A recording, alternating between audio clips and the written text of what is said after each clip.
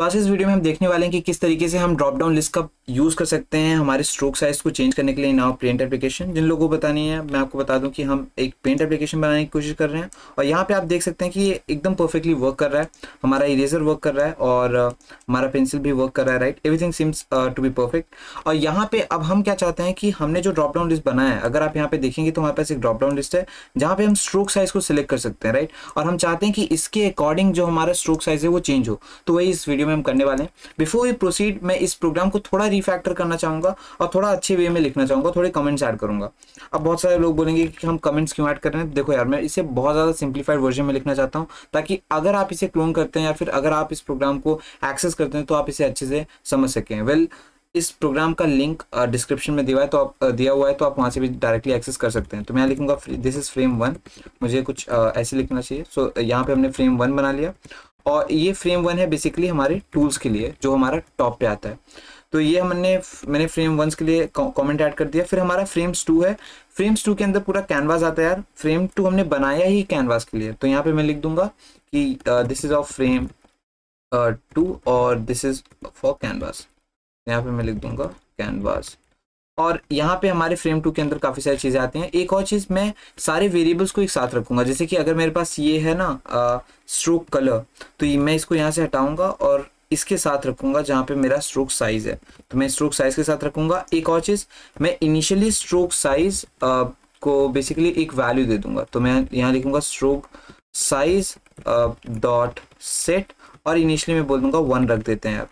इस पूरे चारों वेरिएबल्स को मैं एकदम टॉप पे रखना चाहूँगा हमारे फ्रेम वन के। तो मैं यहाँ पे जस्ट इसके बाद में इसके, इसे पेस्ट कर दूँगा और now it looks more better I guess और यहाँ पे हमारा जो पूरा है वो फ्रेम है। अब देखो यार, जो हमारा फ्रेम वन जो हमने बनाया हुआ है, उसके अंदर भी हमारा, हमारे कई सारे फ्रेम्स है। लाइक जैसे कि जॉब जो हमने टॉप पे फ्रेम बनाया, मैं आपको दिखा देता हूँ।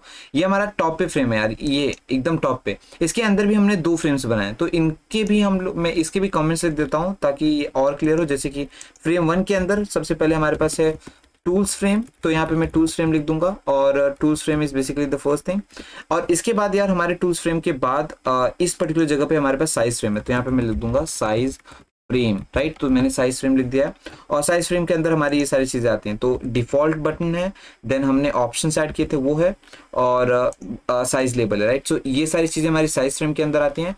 और ये जितनी चीज़ें यार वो हमारी टूल स्ट्रीम के अंदर आती हैं तो मुझे लगता है we are good to go now and everything seems perfect to me और जो यहाँ पे uh, थोड़ी लाइंस ऐसी हैं जो ज़रूरत नहीं है उनको मैं हटा देता हूँ। ओके नाउ अगर इस प्रोग्राम को मैं रन करूँ तो ये परफेक्टली वर्क कर रहा है। बट इनिशियली हमें ग्रीन कलर uh, का पेंसिल दिख रहा है जिसे मैं जल्दी से फिक्स कर लेता हूँ। जहाँ पे हमने वेरिएबल्स को डाला यहाँ पे मैं इनिशियली ब्लैक कर दूँगा इसे। Right right? सो so, ये परफेक्टली वर्क करेगा।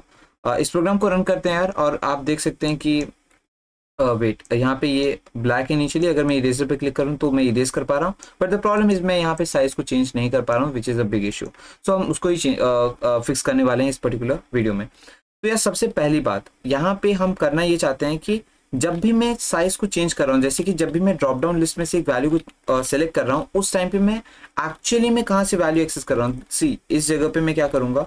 मैं अपने ड्रॉप डाउन लिस्ट के पास जाऊँगा और आप देख सकते हैं यहाँ पे मैं लिख रहा हूँ कि मैं स्ट्रोक साइज़ के अंदर वेरिएबल स्टोर करना चाहता हूँ ऑप्शन का राइट अब मैं क्या करूँगा, यहाँ पे इस पर्टिकुलर जगह पे जब मैं ये चीज़ बना रहा हूँ ना तो यहाँ पे मैं लिख दूँगा कि मुझे एक विथ चाहिए और मैं इस विथ को बोलूँगा कि this width should be equals to stroke size dot get तो मतलब जो भी स्ट्रोक साइज़ है, मैं उसी का विथ अप्लाई करूँगा। तो जैसे बाई डिफ़ॉल्ट वन है तो स्ट्रोक साइज़ वन है। अगर मैं टू कर दूँगा, ये थोड़ा थिक हो गया। थ्री कर दिया मैंने तो ये और हो गया थिक अगर मैं इसे फोर कर देता हूँ इस जगह पे तो ये और भी मोटा हो गया। और फाइनली फाइव में ये और भी मोटा हो गया। बट यहाँ पे एक प्रॉब्लम है। अगर आप देखेंगे, अगर मैं इसे इसे कर्व्स बनाऊँ तो ये बहुत ज़्यादा स्मूथ नहीं है राइट अगर मैं आपको इसे टेन करके दिखाऊँ तो आपको ऑटोमेटिकली समझ में आ जाएगा। तो जैसे कि मैं यहाँ पे जो मेरे ऑप्शंस का लिस्ट है ना, मैं इधर पे एक टेन वैल्यू भी डाल दूँगा, जैसे कोई बहुत ज़्यादा ही थिक चाहता है। तो उस पॉइंट पे क्या होगा, आप वो जल्दी से देख लीजिए। यहाँ पे आप देख सकते हैं कि टेन सेलेक्ट करने पे ये बहुत ज़्यादा स्मूथ नहीं है राइट अब इसके लिए हम इसे भी फिक्स कर सकते हैं आसानी से। उसके लिए मुझे करना ये पड़ेगा कि instead of using create line मैं यूज़ कर सकता हूँ क्रिएट पॉलीगॉन और वो ज़्यादा स्मूथ लाइंस बनाएँगे। तो इस जगह पे मैं क्या करूँगा instead of writing create line जो कि सही है, यहाँ पे मैं लिखूँगा क्रिएट पॉलीगॉन और अब मैं क्योंकि पॉलीगॉन लिख रहा हूँ, मुझे कुछ और चीज़ें लिखनी पड़ेंगी, जैसे फिल के साथ मुझे आउटलाइन भी लिखना पड़ेगा, जो कि मैं सेम कलर का रखूँगा। आउटलाइन मतलब अब पॉलीगॉन एक टू डायमेंशनल शेप है तो क्योंकि ये टू डायमेंशनल शेप है तो यार इसके अराउंड कुछ होता है, जैसे कि मैं आपको यहाँ पे दिखा देता हूँ। मान लो कि एक पॉलीगॉन क्या है मतलब मल्टीपल साइड्स होने वाले हैं तो यहाँ पे मान लो ये अगर ये ऐसे पॉलीगॉन है हमारा तो यहाँ पे इसका ये एक आउटलाइन हो गया, एक इसका इंटीरियर कलर हो गया। तो जैसे मैं इंटीरियर कलर में डाल देता हूँ ग्रीन फॉर एग्ज़ाम्पल यहाँ पे। तो इसका आउटलाइन भी तो है तो आउटलाइन में भी तो कुछ डालना पड़ेगा। अब ये सेम कलर भी हो सकता है डिफरेंट कलर भी हो सकता है तो ये हमारा आउटलाइन हो गया। तो यही चीज़ हमें यहाँ पे डिफाइन करनी है राइट तो मैं यहाँ पे सबसे पहले क्या करूँगा आउटलाइन लिख दूँगा और यहाँ पे बोलूँगा जो आउटलाइन है, मैं सेम कलर का ही रखूँगा। सो यहाँ पे मैं लिखूँगा स्ट्रोक कलर डॉट गेट तो यहाँ पे मैं स्ट्रोक कलर डॉट गेट लिखूँगा और इसके बाद मैं इस प्रोग्राम को रन करूँगा देखते हैं किस तरीके से वर्क करता है तो सबसे पहले डिफ़ॉल्ट वैल्यू वन है ओके लाइक पॉलीगॉन मैंने चेंज कर दिया and it is working well अगर मैं टेन पे जाऊँ तो आप देख सकते हैं इट इज़ मोर स्मूथ और ये परफेक्टली वर्क कर रहा है।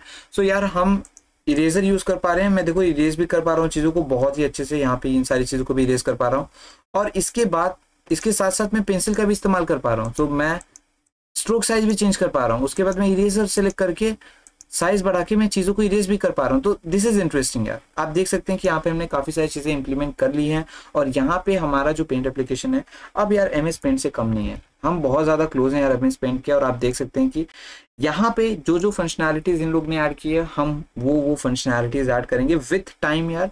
और मैं पहले वो चीज़ों को कवर करने की कोशिश करूँगा जो कि आपके लिए आसान होगा समझना राइट तो यहाँ पे मैं क्या करूँगा, इस इस पर्टिकुलर वीडियो का भी कमिट मार दूँगा, और आप देख सकते हैं, आप हर एक पर्टिकुलर चीज़ का एक्सेस ले सकते हैं। बेसिकली मैंने लिंक दे दिया है डिस्क्रिप्शन में तो आप वहाँ से इस एक पर्टिकुलर कमिट का भी कोड एक्सेस कर पाएँगे। और अगर आपको पूरा बेसिकली पूरे प्रोजेक्ट का कोड चाहिए तो वो भी मैंने प्रोवाइड कर दिया है। अगर ये पूरा प्रोजेक्ट खत्म हो गया है तो। तो आप वहाँ से पूरा प्रोजेक्ट भी लेके क्लोन कर सकते हैं अगर आपको देखना है तो। तो उम्मीद है आपको समझ में आया होगा और that's all for today's video और आगे आने वाली वीडियोज़ में हम और चीज़ें इंप्लीमेंट करेंगे जैसे कि uh, हम देखेंगे कि लाइक हमने देख ही लिया ऑलरेडी कि हम स्ट्रोक साइज़ को किस तरीके से चेंज कर सकते हैं। But we will add more functionalities to it right so that's all for today's video bye